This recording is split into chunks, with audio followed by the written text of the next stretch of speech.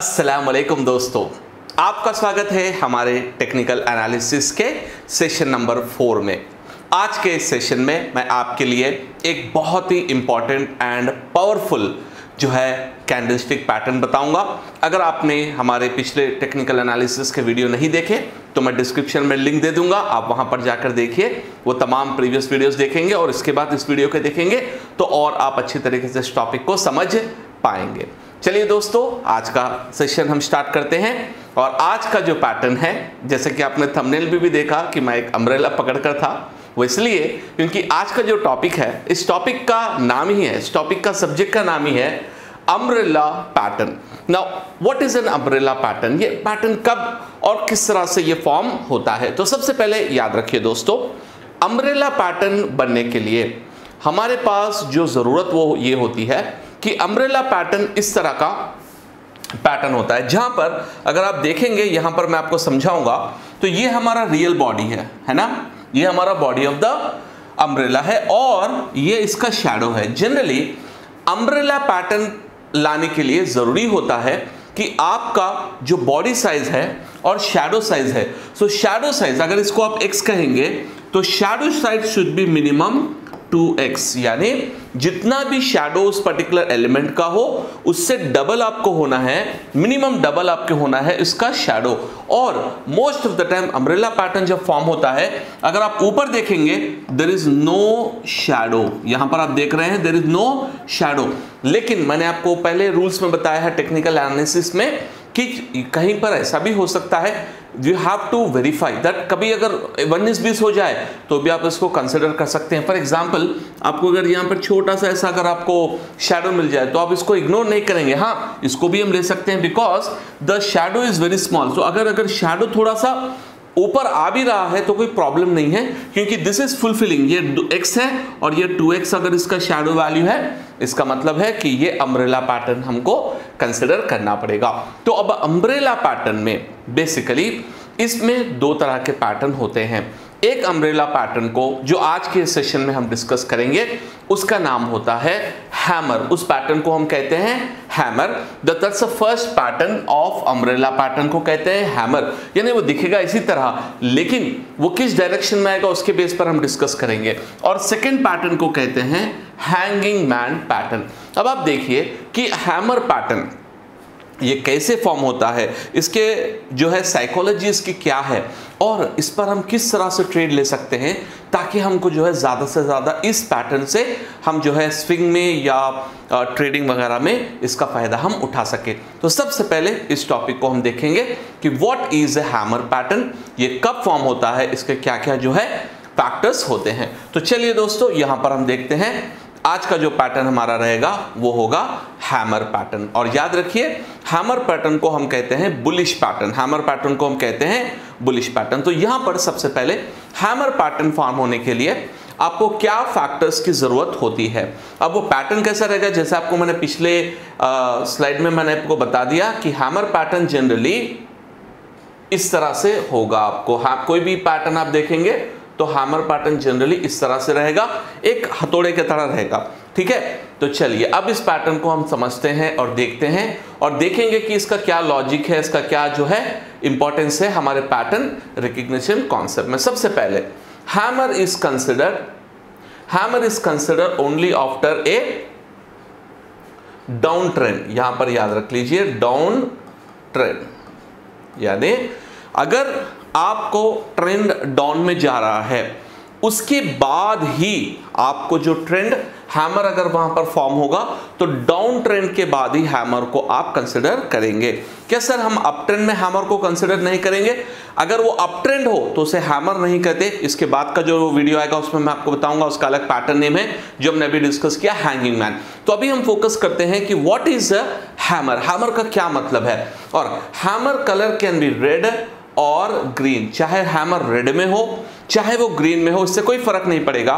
लेकिन hammer pattern का जो कंडीशन है the longer the bottom shadow the bullish the trend यानी फ़र्स्ट थिंग तो आपको याद रख लीजिए कि हैमर कब फॉर्म होता है, इस तरह का बॉडी आ जाए और एक बड़ा सा जो है बॉटम शेडो ऊपर का शेडो अगर थोड़ा बहुत इतना, एक छोटा एक 0.5 परसेंट या छोटा सा परसेंटेज का अगर ऊपर शेडो भी आया तो प्रॉब्लम नहीं है, लेकिन जनरली इसके ऊपर कोई शेडो नहीं होता है, सिर्फ़ इसका जो है बॉडी होता है और इसका जो है लोअर शेडो अगर ये x हो तो मैंने आपको कहा कि मिनिमम इसका शेडो जो है वो 2x होना चाहिए। अगर फॉर एग्जांपल फ़र्स्ट कीजिए, अगर आपको एक पैटर्न ऐसे मिल रहा है कि यहाँ पर ये तो हैमर है अज्यूम कीजिए, ये x है। लेकिन अब उसका जो फॉर्म हो रहा है, इस तरह फॉर्म हो रहा है। तो अब याद रखिए दोस्तों, यहाँ पर क्योंकि, यहाँ पर क्योंकि सिर्फ़ हमने x लिया है और ये भी x है। तो ये हैमर पैटर्न नहीं कंपलसरी उसका जो लेंथ होगा शैडो का, इस बॉडी का डबल द लेंथ होना चाहिए।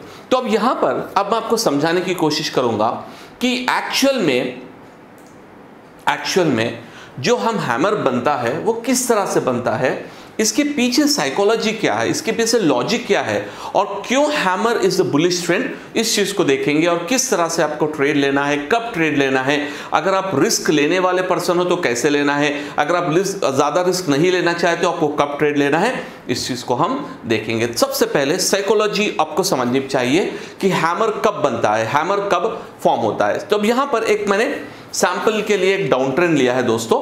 अब ये डाउन ट्रेंड आप देखिए। सबसे पहले यहाँ पर से प्राइस आप देख रहे हैं कि गिर रहा है।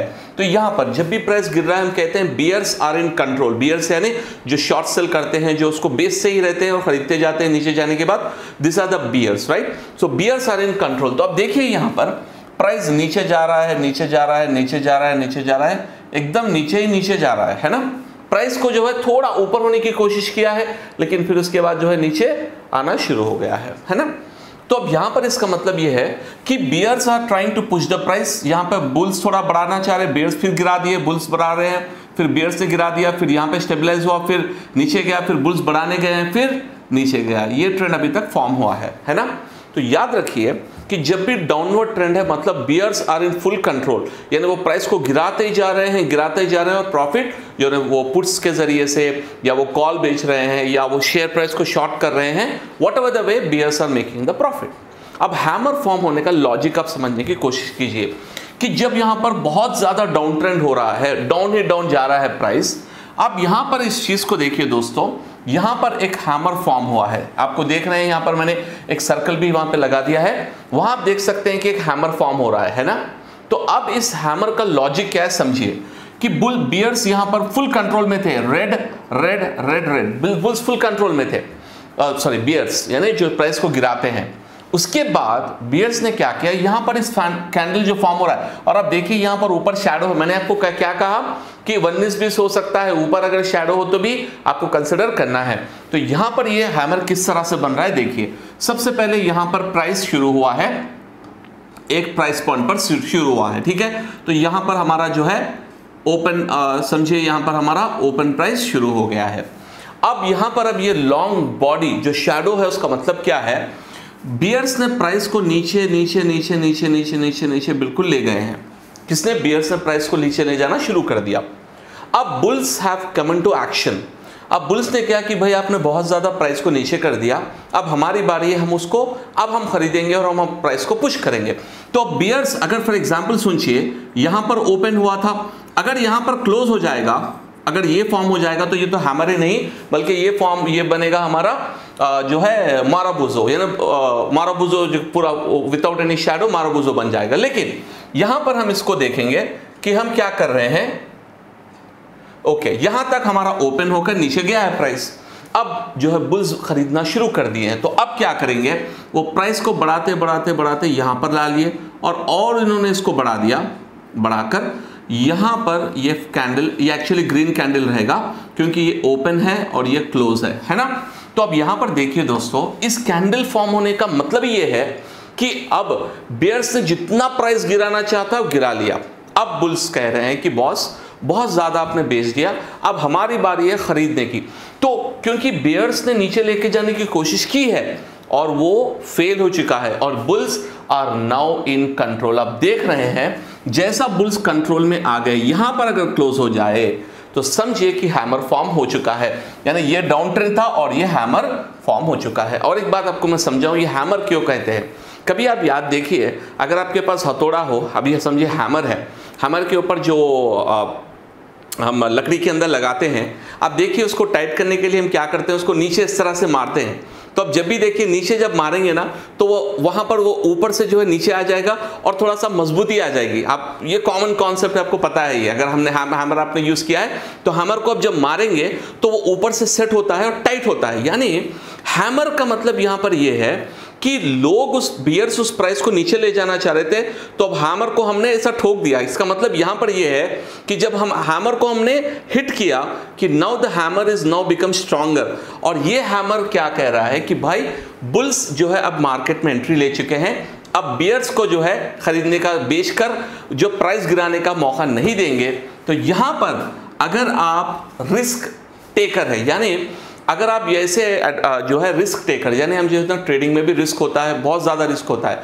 एक होता है रिस्क अवर्स एक होता है रिस्क रिस्क अवर्स यानी रिस्क लेना ही नहीं चाहता बंदा, कम रिस्क एक है ना risky trader I want to take risk but I want more profit तो ये बंदा जो है, इसी, उसी दिन, जिस दिन हैमर फॉर्म हो रहा है ना, उसी दिन 3:30 के बाद में, या sorry three three three O के बाद में, या 3:15 या 3:20 को एक्चुअली आप यहीं पर एंटर हो जाएँगे ट्रेड में। यानी आपको पता चल गया कि भाई हैमर फॉर्म हो चुका है, यहाँ पर आप ट्रेड ले लेंगे। लेकिन यहाँ पर आपको ऐसे भी होते हैं जो रिस्क नहीं लेना चाहते तो वो क्या कर सकते हैं? वो वेट करेंगे। उस दिन हैमर फॉर्म हो गया। अब वो देखेंगे नेक्स्ट दिन। आप देखिए नेक्स्ट दिन क्या है? यहाँ पर ओपन प्राइस हुआ है और सीधा ये मारोबोजो बनाया। अब देख लीजिए, वो मारोबोजो कैंडल है। वो बता रहा है कि भाई bulls are now in control and they are keep buying and buying and buying you can see there is a marubozu candle there तो यहाँ पर अगर आप रिस्क अवर्स है, यानी रिस्क कम लेना चाहते हैं तो नेक्स्ट दिन आप देखिए, यहाँ पर आप ओपन करने के बाद 15 मिनट में आप ट्रैप मार्केट देखकर इमीडिएट एंट्री ले लेंगे। तो ये होता है दोस्तों हैमर का पावर ये है कि प्राइस को बेयर से नीचे लाना चाहा, लेकिन बुल्स ने एक हैमर फॉर्म कर दिया। यानी बेयर से नीचे ले जाना चाहे तो बुल्स ने उसको हैमर उसको ऊपर लेकर हैमर का फॉर्मेशन दे दिया है। यहाँ पर bulls are now in full control in the stock so now buying शुरू हो गई है। अब यहाँ पर इंपॉर्टेंट चीज़ ये है, आपने एंट्री तो ले लिया। तो आप उसको एग्जिट कैसा करेंगे? अगर आपको, आपका अंदाज़ा गलत हो तो कैसे एग्जिट करेंगे? तो याद रख लीजिए, जब भी हैमर फॉर्म हो रहा है, जब भी ये हैमर फॉर्म हुआ है तो अगर मैंने यहाँ पर इसको खरीदा है तो मेरा जो स्टॉप लॉस होगा, वो है लो एंड ऑफ़ हैमर यानी जो हैमर का जो लोएस्ट वैल्यू है, वो मेरा स्टॉप लॉस होगा अभी अगर फॉर एग्जांपल सोचिए अगर एग्जांपल आपका हैमर इस तरह से फॉर्म हुआ है तो ठीक है टू एक्स है, ये आपने लोअर दे दिया है। अगर फ़र्ज़ कीजिए आपका हैमर बहुत ज़्यादा बड़ा फॉर्म हुआ है, यानी ये जो स्टॉप लॉस है, बहुत ही डीप है, यानी बहुत ही ज़्यादा दूर आपका स्टॉप लॉस है तो उतना ज़्यादा आप रिस्क नहीं लेना चाहते हैं। तो इस पॉइंट पे बास ट्रेडर्स ये कहते हैं कि instead of putting stop loss at such a low level क्योंकि आपने समझो फॉर एग्जांपल आपने खरीदा 500 में, और इसका नीचे का वैल्यू है 400 फॉर एग्जांपल जो है 100 points of stop loss is a very big range तो आपको बहुत ज़्यादा रिस्क होना है, हो रहा है, होगा। तो अब यहाँ पर आप क्या कर सकते हैं अराउंड फिफ्टी आप जो है इसका वैल्यू आप ले सकते हैं, जो सेंटर है, वहाँ पर आप इसको स्टॉप लॉस यहाँ पर लगा देंगे। या आप यहाँ पे स्टॉप लॉस जो है, यहाँ पर भी आप रख सकते हैं, या जीटीटी ऑर्डर रख सकते हैं। अगर ये प्राइस यहाँ पर आए तो इमीजिएट आप एग्जिट हो जाएँगे। इसका मतलब ये है कि दूसरे दिन अगर प्राइस रिवर्स होना चाहे, क्योंकि हर एक पैटर्न ज़रूरी नहीं है कि हैमर फॉर्म होते हुए ऊपर जाएगा।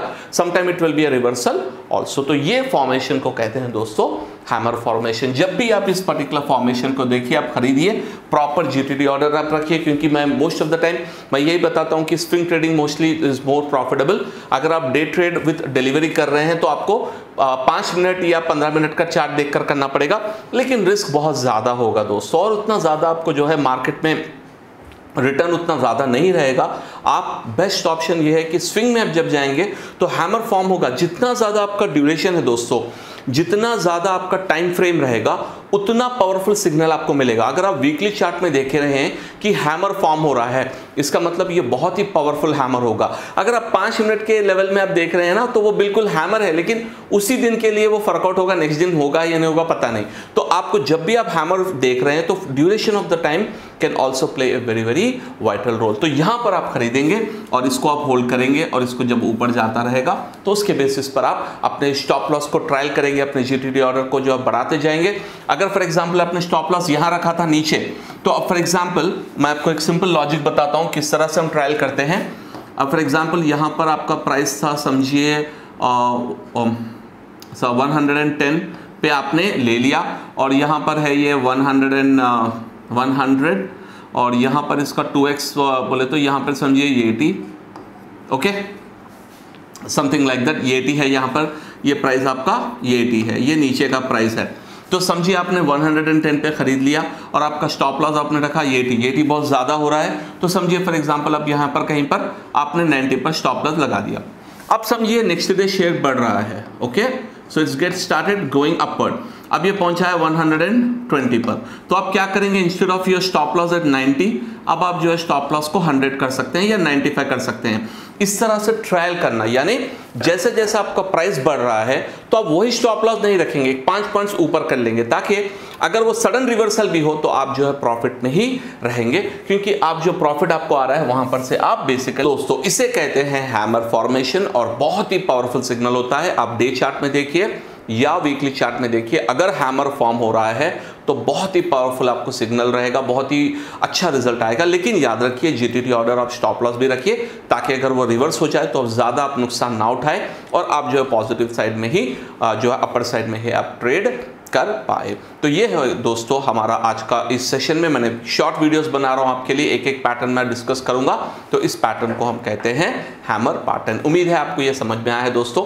अगर आपको ये वीडियो अच्छा लगा और आपको कॉन्सेप्ट समझ में आया तो इस वीडियो को लाइक कीजिए और हमारे चैनल को सब्सक्राइब कीजिए। और नेक्स्ट वीडियो में मैं आपके लिए पैटर्न लाऊँगा, जिसका नाम है हैंगिंग मैन पैटर्न इसी कॉन्सेप्ट पर रहेगा, लेकिन ये फॉर्म होगा जब अप ट्रेंड होगा तो उस टाइम पर हैंगिंग मैन पैटर्न फॉर्म होगा। ये उसका कॉन्सेप्ट क्या है, हम अगले वीडियो में इसके लिए देखेंगे. Thank you very much